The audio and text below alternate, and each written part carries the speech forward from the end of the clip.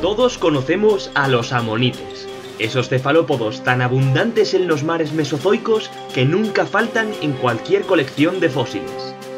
Pero ¿fueron todos de un tamaño entre unos pocos a varias decenas de centímetros? Quédate con nosotros para descubrir a los mayores amonites de todos los tiempos.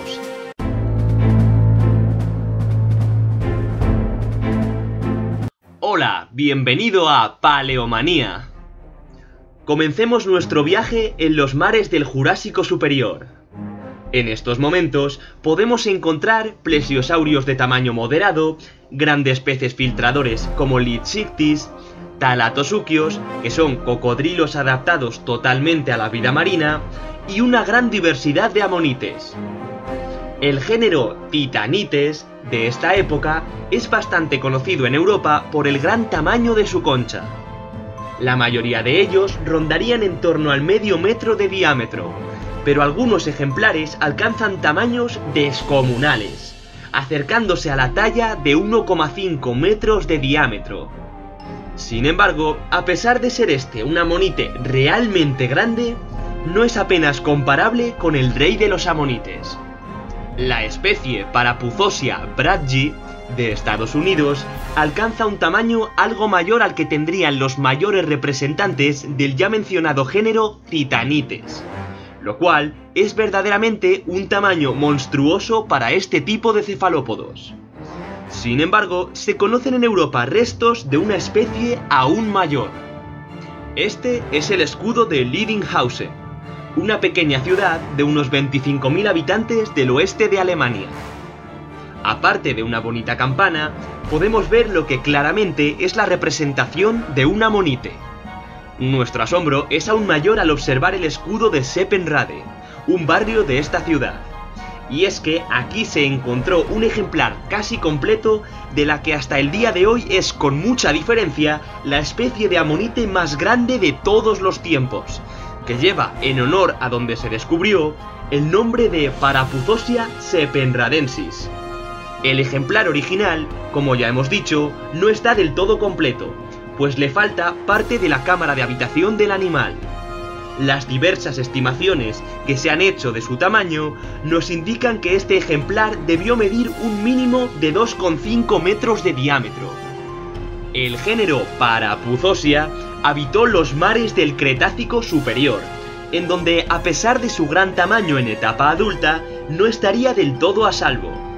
Muchos animales durófagos, es decir, especializados para romper conchas de moluscos, como por ejemplo los peces picnodóntidos, no podrían fijarse en los ejemplares adultos de Parapuzosia más que para huir de ellos, ya que este género de amonite fue un nadador activo que posiblemente cazase peces y otros cefalópodos. Seguramente, la mayoría de los tiburones del momento, incluso quizá hasta los grandes tiburones dichodóntidos durófagos, preferirían no enfrentarse a un cefalópodo de una tonelada y media protegido por una gruesa concha. Pero entonces, ¿quién pudo haber atacado a Parapuzosia? La respuesta a esta pregunta es simple. Los mosasaurios. Aunque los dientes de los grandes mosasaurios de los pisos finales del Cretácico superior no estaban adaptados para cascar las conchas de los moluscos, de hecho se dañaban por ello, hay gran cantidad de fósiles de amonites por todo el mundo con marcas de dientes que coinciden exactamente con el patrón de un mosasaurio.